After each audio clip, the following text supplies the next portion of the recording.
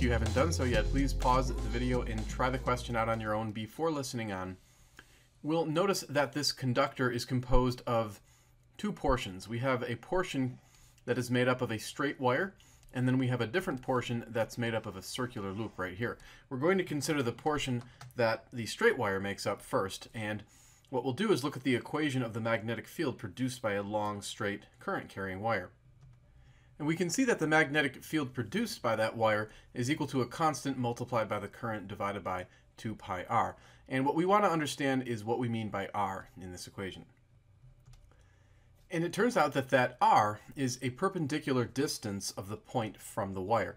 So for example, if we go back to the diagram, if we marked a point right here in the diagram, then the perpendicular distance would be this distance measured right here to the wire, you'll notice that that would be perpendicular to the wire. That would be the value of R. In this particular case, we're being asked to determine the magnetic field at the center of the wire. And if we extended the long straight segment of wire, we could see that it passes directly through that point.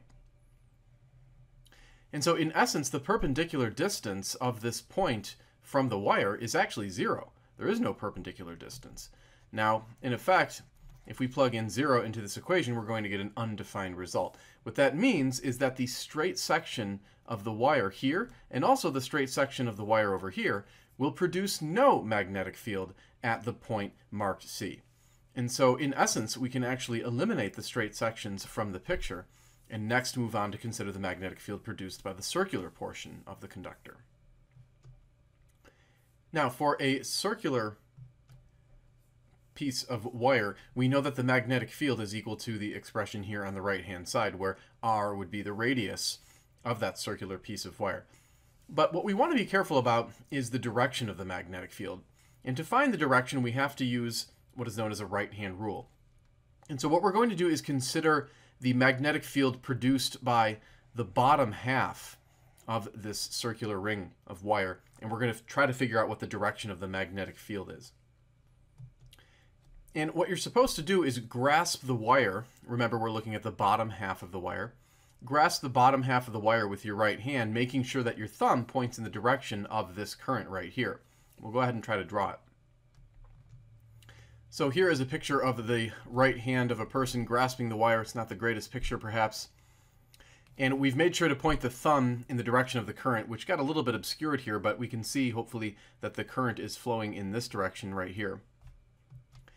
And we can also see that our four fingers here, if we use our imagination a little bit, would be curling out of the page. So that means that the magnetic field produced by the bottom half of the wire would be pointing out of the page.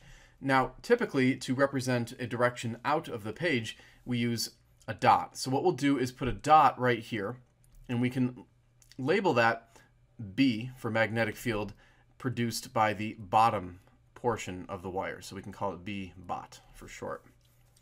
Now we'll have to grasp the top half of the wire with our right hand, once again making sure to point our thumb in the direction of the current. And so here is my attempt to draw the right hand grasping the top half of the loop with the thumb once again pointing in the direction of the current.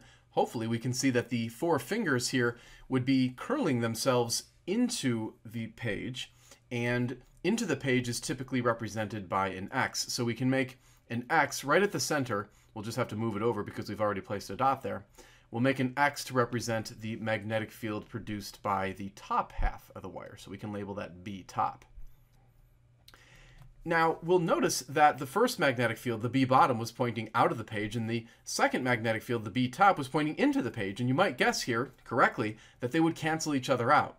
So in essence, the total magnetic field at the center of this loop is actually going to simply be zero Tesla. And so this turns out to be the correct answer.